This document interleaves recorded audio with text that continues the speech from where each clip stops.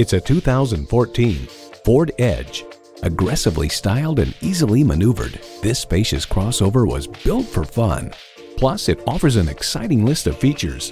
Rear parking sensors, memory exterior door mirror settings, front heated leather bucket seats, Bluetooth wireless audio streaming, V6 engine, dual zone climate control, Bluetooth, voice activation, aluminum wheels, four-wheel drive, and automatic transmission.